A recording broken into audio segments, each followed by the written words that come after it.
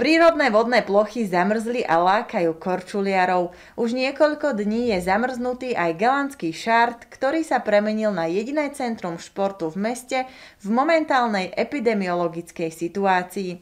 O tom, že to bolo doslova ľadové kráľovstvo, ako z rozprávky sa presvedčte sami.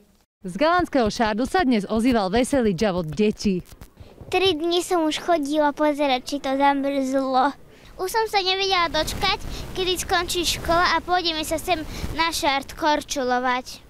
Dočkať sa nevedeli nie len deti, ale aj dospelí. Zamrznuté jazero lákalo okrem korčuliarov aj rodičov, ktorí sa na ľade s deťmi šmíkali alebo sánkovali. Našli sa aj takí, ktorí nemali odvahu stúpiť na ľad. Napriek tomu radi strávili čas na čerstvom vzduchu s nádychom pravej zimnej atmosféry. My tu chodíme od detstva, čiže toto je rybník Galantianov a keď je možnosť, tak sa chodíme tu pošmíkať, pokorčulovať a mladší aj hokej zahrať.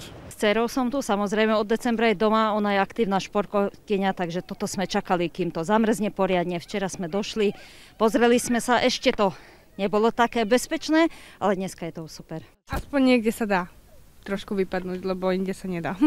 A ty si sa sem prišla čo dneska korčule alebo len tak šmíkať? No len tak šmíka, lebo mám už korčule malé. Mrazy a aktuálnu situáciu využili aj dobrovoľníci a aktivisti z Galanty, ktorí sa rozhodli rozveseliť a spestriť deň deťom na ľade s maskotom Sobíkom. Soba, ty čo tu dnes robíš? No, vyzerá to, že robí nejaký telocvik, tak sa na to pozrieme, že čo bude robiť na tom ľade. Dobre? Ruku na to.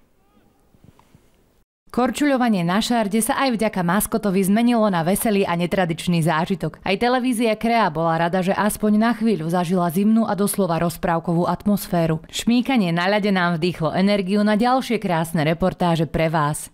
Z galánského šardu pre televíziu Krea Petra Sabová.